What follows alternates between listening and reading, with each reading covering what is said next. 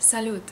Com sabeu, als últims vídeos vam parlar de com podem unir dos components en una oració utilitzant les conjuncions she i yar i també de com podem expressar una negació. Però el que no vam explicar va ser com podem expressar una afirmació.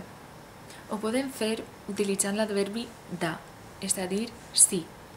Aleshores, si algú ens preguntara «I és d'Hispània?», és a dir, «Eres d'Espanya?», podríem contestar da sunt o simplement da.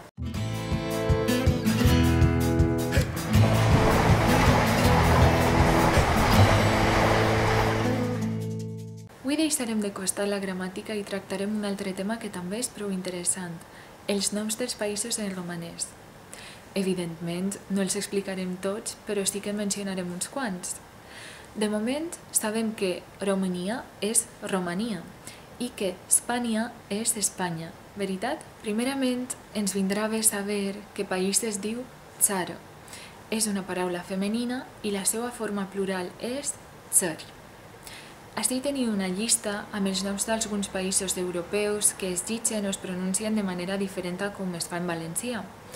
Els llegirem junts per comprendre-ho millor. Comencem amb els nostres veïns. Portugal és Portugàlia. França és França i Gran Bretanya és Mària Britània. Ara anem una mica més lluny. Alemanya és Germània. Bèlgica és Bèlgia. Àustria és Àustria. Els Països Baixos són Zerile Joase. Suïssa és Helvècia. La República Txeca és Chechia o República Cheja.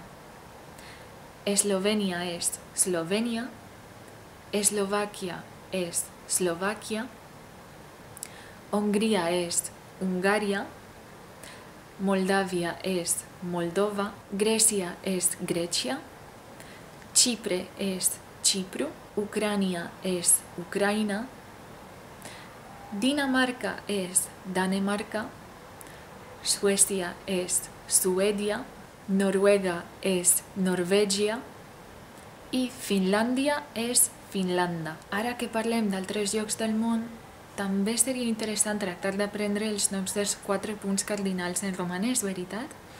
El nord és nord. El sud és sud. L'est és est i l'oest és vest. Això és tot per avui. Com sempre, espero que aquest vídeo vos hagi semblat útil.